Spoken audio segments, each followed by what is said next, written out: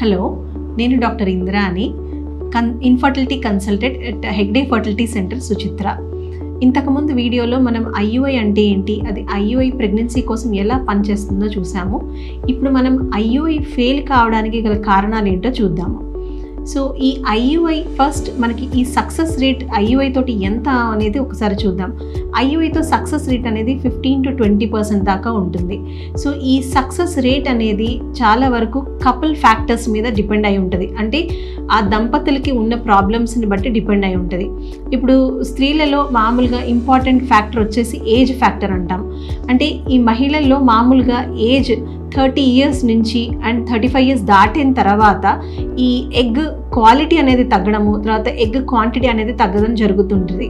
So ఈ IUI fail అవ్వడానికి ఈ ఎగ్ క్వాలిటీ అనేది చాలా ఇంపార్టెంట్. అలాగనే స్పర్మ్ సైడ్ నుంచి కూడా స్పర్మ్ క్వాలిటీ అనేది చాలా ఇంపార్టెంట్. ఇప్పుడు ఈ స్పర్మ్ కానీ ఎగ్ కానీ క్వాలిటీ అనేది సరిగ్గా ఉండకపోవడం వలన ఒక్కొక్కసారి ఆ ఎంబ్రియో క్వాలిటీ సరిగ్గా ఉండకపోవచ్చు.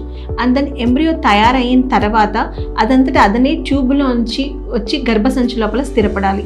సో కొన్ని మెడికల్ కండిషన్స్ ఏమన్నా ఉన్నా అంటే ఈ ఈ ఎగ్ కానీ స్పర్మ్ కానీ ప్రయాణం చేసేటప్పుడు కానీ లేదా ఎంబ్రియో ప్రయాణం చేసేదానికి ఈ కొన్ని మెడికల్ కండిషన్స్ అంటే అందులో ముఖ్యంగా ఎండోమెట్రియోసిస్ అని అంటాం. సో అలాంటి ప్రాబ్లం ఏదన్నా ఉన్నప్పుడు వాటికి ఈ ట్యూబ్ ఫంక్షనింగ్ అనేది సరిగ్గా ఉండకపోవచ్చు. సో అలాంటప్పుడు కూడా ఐయుఐ అనేది ఫెయిల్ కావచ్చు. అండ్ దెన్ ఇంకొకటి వచ్చేసి ఎండోమెట్రియం అంటే గర్భాశయం లోపలి పొర భాగాన్ని ఎండోమెట్రియం అని అంటాం. ఒక్కొక్కసారి అది సరిగ్గా పెరగకపోవడం వల్ల కూడా ఈ ఎంబ్రియో అనేది ఇంప్లాంట్ కాకపోవడం వల్ల ఐయుఐ ఫెయిల్ కావచ్చు. అలాగని ఇప్పుడు భార్య భర్త ట్రై చేస్తున్న టైం ఏదైతే ఉందో అంటే పీరియడ్ ఆఫ్ సబ్ఫర్టిలిటీ అని అంటాం ఆ పీరియడ్ అనేది చాలా ఎక్కువ కాలం అయినప్పుడు కూడా ఒక్కొక్కసారి ఈ ఐయుఐతో అనేది సక్సెస్ అనేది వాళ్ళకి ఎక్కువ అందకపోవచ్చు. సో నార్మల్గా ఈ ఐయుఐ ప్రాసెస్ అనేది మామూలుగా త్రీ సైకిల్స్ ట్రై చేసుకోమని చెప్తామన్నమాట.